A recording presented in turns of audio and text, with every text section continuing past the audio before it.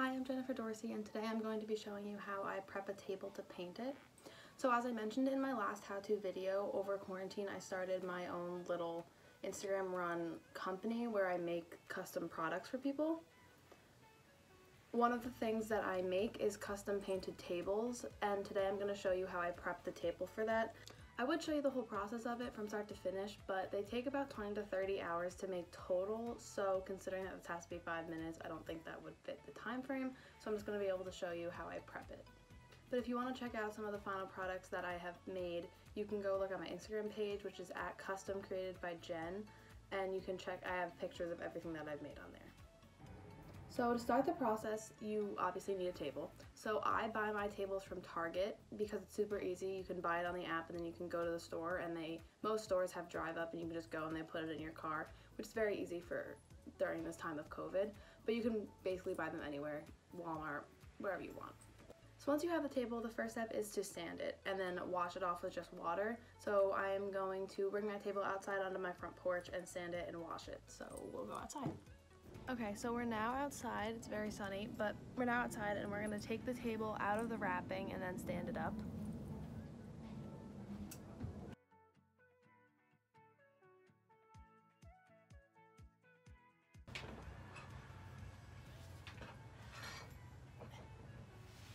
You should probably get two people to do this. So now the table is standing and unwrapped. So now it's time to sand it. So I happen to have a sander, but you can just use sandpaper and your hand and just like rub it. So I'm gonna sand it now.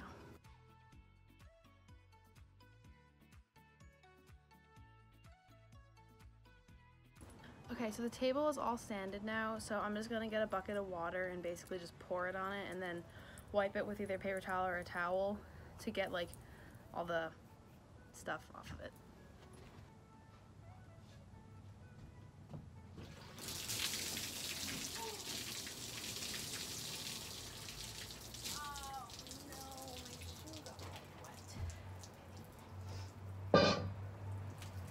Okay, well, that wasn't a total success because I spilled it all over my feet, but now I'm just gonna wipe it with a paper towel.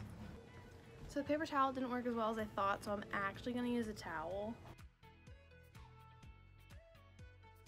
So the table is sanded and cleaned now, so I'm just gonna fold it up again and bring it inside so that I can do the next step. Okay, so the table is now set up inside, so now you're gonna take blue tape and I'm just gonna show you how I do like a basic tape design. So basically what you do is you tape, you're gonna tape from this corner to this corner the back corner to the front corner and then this corner to this corner.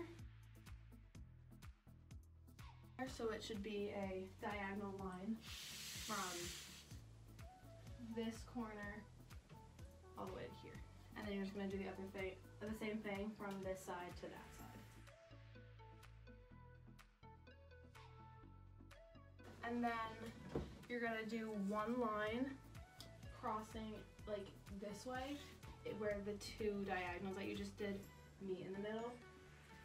So you're gonna take and you're gonna try to make it as straight as possible and just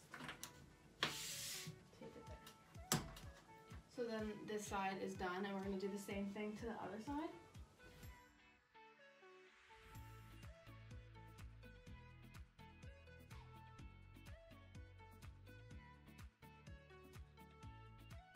And that's it.